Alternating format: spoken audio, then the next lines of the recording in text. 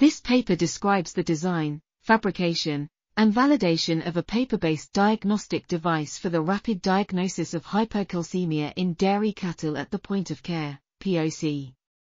The device incorporates a 3D printed calcium ion selective membrane, ISM, as the sensing element for free unbound calcium in real bovine whole blood samples.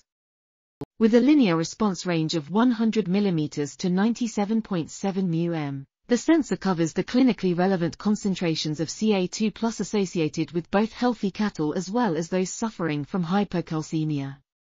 The components of the Ca2 plus ion selective electrodes were successfully translated to a paper-based device to provide a sensing platform that is simple to use, disposable, and low cost, and is therefore well situated for applications at the POC.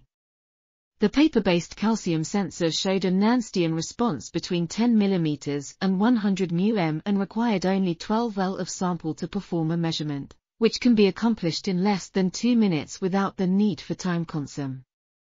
This article was authored by Art Matthew Mamaril, Dalton L. Glasco, Francisco A. Leal Yepes, and others. We are RTCL.TV, links in the description below.